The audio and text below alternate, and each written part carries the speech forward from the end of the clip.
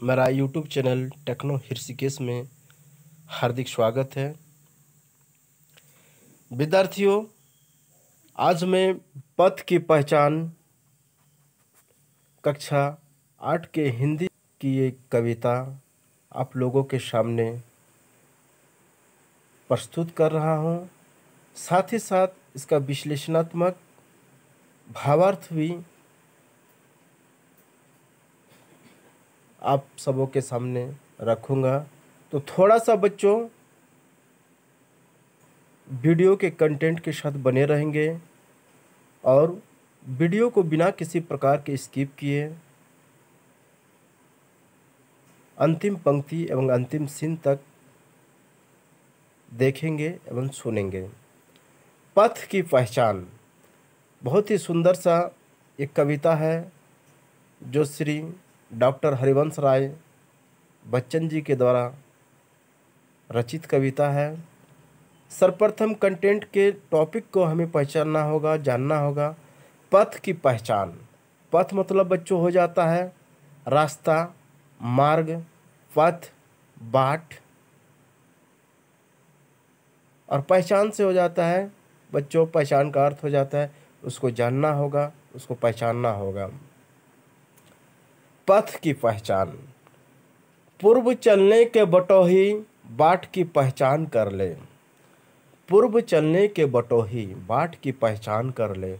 आगे आगे जो चलने वाले पथिक है बटोही पथिक बाट की पहचान कर ले। अपने रास्ता, अपने मार्ग को जान लीजिए। पुस्तकों में है नहीं, छापी गई इसकी कहानी। किसी पुस्तक में, किसी पोथी में इसका उल्लेख ही नहीं है कि आपको किस ओर चलना है, कौन रास्ता, कौन मार्ग आपके लिए सही है। ये नहीं लिखी रहती है। हाल इसका ज्ञात होता है, न औरों के जवानी। ना ही किसी पथ, रास्ता के बारे में हम जो जाएँगे, हमारा दिशा निर्देश किसी औरों के मुँह जवानी से नहीं होती है। अनगिनत राही गए इस राह से, उनका पता क्या? अनगिनत, असंख्य राही पथिक इस पथ पर चलते गए, आगे बढ़ते गए, लेकिन उसका पता क्या? पर गए कुछ लोग इस पर छोड़ पैरों के निशानी, लेकिन कुछ महापुरुष, कुछ सिद्ध पुरुष इसी मार्ग, इसी पथ पर चलते हुए अपने कुछ अनगिनत पैरों की निशानी छोड़ गए हैं। उनके जीवन की स्थितियाँ आज भी हमें कुछ न कुछ अनुकरण करने के लिए हमेशा हमेशा प्रेरित करते रहता है। यह निशानी मुख होकर भी कुछ बोलती है। भले ही वो निशानी मुख है, चुपचाप है, लेकिन वो चुप और स्तब्ध रह कर के भी कुछ ना कुछ परिभाषित करती है या कुछ ना कुछ हमें शिक्षा ज्ञान देने का प्रयत्न करता है। खोल इसका अर्थ, पंथी, पंथ का अनुमान कर ले तो उनके अर्थ को समझे, उस महापुरुषों के जीवनी को जानिए, इसका अनुमान कर ले। पूर्व चलने के बटोही बाट की पहचान कर ले, आगे आगे चलने वाले बटोही, हे पथिक, अपने रास्ते की पहचान कर ले।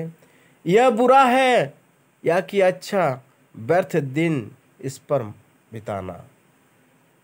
यह बुरा है, यह अच्छा है, यह करना है, यह नहीं करना है, इस पर चर्चा करते और मंथन करते हुए हमें अपना बहुमल समय को नहीं गंवाना है। जब असंभव छोड़ यह पथ दूसरे पर पग बढ़ाना। जब असंभव छोड़ यह पथ दूसरे पर पग बढ़ाना। ऐसा ना सोचते हुए, ना मंथन करते हुए हमें अपने पथ पर निरंतर आगे बढ़ते रहना है। तू इसे अच्छा समझ, यात्रा सरल इससे बनेगी।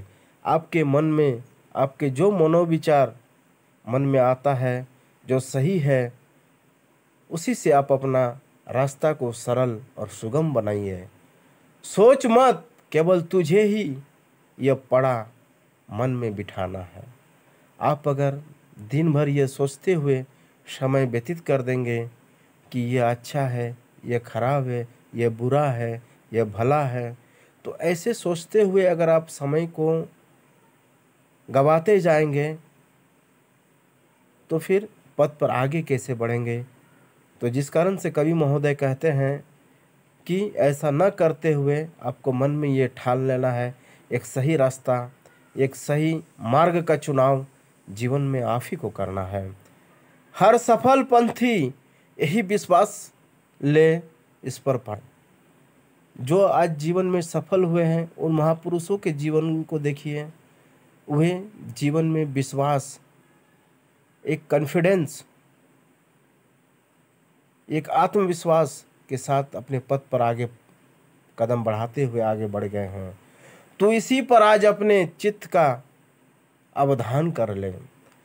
तो क्या बोल रहे हैं कवि महोदय? तो इसी पर आज अपने चित्त, आज अपने मनों का ये अवधान कर लें कि हमें किस पद पर चलना है, कौन सा सही मार्ग है, कौन सा गलत मार्ग है इसका निर्णय जल्द करके अपने पथ की ओर आगे बढ़ते चला जाना है। न कि दूसरे के बताए हुए मार्ग पर हमें चलना है। हमें अपना पथ, अपना मार्ग स्वयं प्रशस्त करना है और उस और अपना कदम बढ़ाना है। पूर्व चलने के बटो ही बाट की पहचान कर ले। बारंबार यही बात कहा जा रहा है, पूर्व चलने के बटो ही बाट, अपने पथ, अपने रास्ता, अपने मार्ग की अच्छी तरह से पहचान कर लें। हे अनिश्चित, किस जगह पर सरित, गिरी, गहवर मिलेंगे। हे अनिश्चित, किस जगह पर बाग वन सुंदर मिलेंगे? यह निश्चित नहीं है जीवन में कोई भी चीज़ कि किस जगह पर हमें नदी मिलेंगे, पहाड़ मिलेंगे, पर्वत मिलेंगे। ठीक है? यह अनिश्चित, किस जगह पर बाग वन सुंदर मिलेंगे? किस जगह पर सुंदर सा बाग, बगीचा, फुलवारी मिलेगा? ये निश्चित नहीं है। हमारे जीवन में बाधाएँ, विपत्तियाँ आते ही रहेंगे। लेकिन उन बाधा और विपत्तियों से मुकाबला डट कर करना है और अपने जीवन पथ पर आगे बढ़ते ही चले जाना है। किस जगह यात्रा खत्म हो जाएगी, यह भी अनिश्चित है। है अनिश्चित, कब सुमन, कब कंटोक के सर मिलेंगे? किस जगह अपने जीवन लीला का यह यात्रा खत्म हो जाएगी, यह भी अनिश्चित है। है अनिश्चित कब सुमन, कब कंटोकों के सर मिलेंगे? न जाने कब हमारे पथ पर फूलों की बारिश होगी, और न जाने कब हमारे पथ पर कांटों का, कांटों भरा पथ जीवन होगा। यह कोई निश्चित नहीं है। कौन सहसा छूट जाएँगे? मिलेंगे कौन सहसा? इस धराधाम में, इस संसार में हमारे कौन से साथी, मित्र, परिजन मिलेंगे? और न जाने कब किस जगह, किस मोड़ पर छूट जाएँगे, ये कोई नहीं जानता। आ पड़े कुछ भी रुकेगा, तू ना ऐसी आन कर ले। लेकिन आपको अपने जीवन पथ पर बढ़ते हुए आगे चलते ही जाना है, ना कि रुक जाना है। जीवन पथ पर बढ़ते रहने का नाम ही जीवन है, रुक जाना मृत समान प्रतीत होता है तो इसीलिए हमें रुकना नहीं है कहीं। पूर्व चलने के बटो ही बाट की पहचान कर लें। आगे आगे चलने वाले बटो ही बाट की जो है ना, आप पहचान कर लें। कौन कहता है कि सपनों को ना आने दे हृदय में? देखते हैं, सब हैं इन्हें अपनी उम्र, अपने समय में। कौन कहता है कि सपनों को न आने दे हृदय में? हमारे जीवन में अनंत सपन है। ठीक है? सपना आना जीवन में तो निरंतर लग, लगे ही रहता है। लेकिन उन सपनों को हम कैसे साकार करेंगे? सफलीभूत कैसे करेंगे? उस पर विचार और उस पर मंथन करना है। देखते सब है इन्हें, अपनी उम्र, अपने समय में। हर बच्चे, हर आदमी के जीवन में कुछ न कुछ अपनी उम्र के हिसाब से वह सपना और मनोख्याल प्रकट होता है। ठीक है? तो हमें उन सपनों को कैसे साकार करना है? उन सपनों को पंख कैसे लगाना है? उसके बारे में हम निरंतर सोचते रहना है।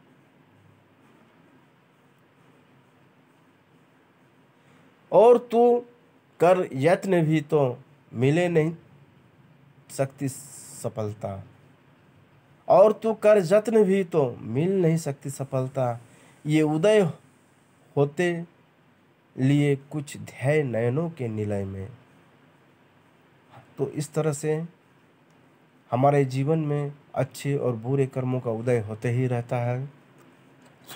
हमें अच्छाई के पथ पर आगे निरंतर बढ़ते रहना है। और किंतु जग के पंथ पर यदि स्वप्न दो तो सत्य दो सो, किंतु जग के पंथ पर यदि स्वप्न दो तो सत्य दो सो।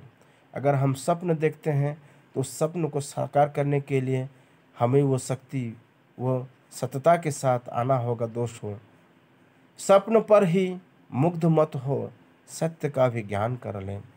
हमें कल्पना जगत में नहीं जीना है, बल्कि यथार्थ और भावार्थ में रह करके अपने जीवन के हर सपनों को पूरा करना है और इस तरह से अपने पथ का अवलंबन करते हुए, पथ का चुनाव करते हुए निरंतर आगे बढ़ते रहना है। पूर्व चलने के बटोही बाट की पहचान कर लें। आगे चलने वाले हे पथिक, अपने पथ, अपने मार्ग की पहचान कर लें। स्वप्न आता स्वर्ग का, दृग करकों में दीप्ति आती पंख लग जाते, पगों की ललकती उन्मुक्त छाती। स्वप्न आता है स्वर्ग से, हमारे मनोविचार से। दीर्घ करकों की दीप्ति आती। हम ये करेंगे, वो करेंगे, ऐसा कर सकते हैं ऐसा बन सकते हैं। लेकिन उसके लिए हमें कर्म करना होगा। उसके लिए, उस पथ पर चलते रहने के लिए, उन सपनों को साकार करने के लिए हमें अपने कर्मों पर बल देना होगा। ललकती उन्मुक्त छाती। रास्ते का एक कांटा पाँव का दिल चीर देता, रक्त की दो बूंद गिरती, एक दुनिया डूब जाती। हमारे जीवन पथ पर अनेक तरह के कांटा आएगा विपत्तियाँ आएगा, बाधाएँ आएगा, जो कि हमारे पाँव को छत विक्षत कर देगा। लेकिन फिर भी हमें रक्त की दो बूंद गिरती, एक दुनिया डूब जाती। भले ही दुनिया डूब जाए, हमारे पाँव में छाले पड़ जाए, छत विक्षत हो जाए, लेकिन हमें अपने जीवन पथ पर निरंतर आगे चलते ही रहना है। आँखों में हो सर्ग, लेकिन पाँव पृथ्वी पर टिके हो। कंटकों की इस अनोखी सिख का सम्मान को में कितने भी सपने हो, उस सपने को संवारने के लिए हमें मेहनत, परिश्रम करना होगा। कंटकों की इस अनोखी सिख का सम्मान कर लें। कांटों भरी पथ होने से भी हमें घबराना नहीं है, बल्कि उसका डट कर मुकाबला करना है। पूर्व चलने के बटोही बाट की पहचान कर लें। आगे आगे चलने वाले हे पथिक, अपने रास्ते, अपने पथ का पहचान कर लें। जो पथ सुगम, सरल हो, उस पथ पर हमें चलना है। किसी गलत पथ का निर्धारण करके जीवन को गलत दिशा नहीं प्रदान करना है, सही पथ पर हमें आगे निरंतर बढ़ते जाना है। प्रस्तुत कविता के माध्यम से कवि ने जीवन में सफलता प्राप्त करने के लिए हमें सचेत होकर अपनी राह चुनने की सलाह दी है।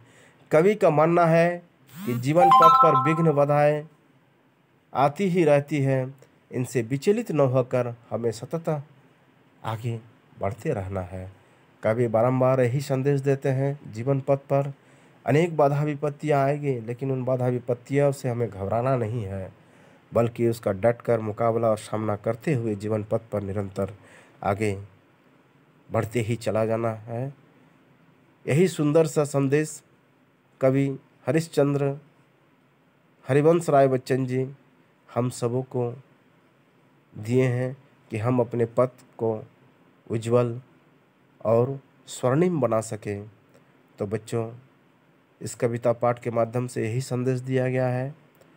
धन्यवाद।